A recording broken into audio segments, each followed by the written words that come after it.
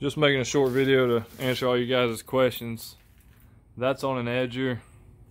That's on a weed eater. Uh, it fits on my green touch racks just perfect. I'll show you how they work. Three. Alright guys, this is me edging with this on there. If I didn't have this, this is me edging. So look at my back. From that to that. You got a lot more control over the head. So that's how it works on the edger. Kind of easy to sling the head around. I'll show you the weed eater now. And this is on the weed eater.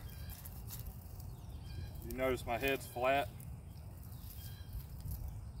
but my back is straight.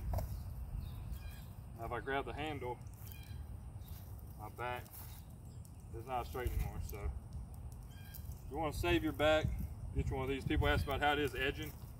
You leave your handle on there when you're edging, and you can edge just fine. Weed eat, edge. So hope that answers y'all's questions. Appreciate it. Peace.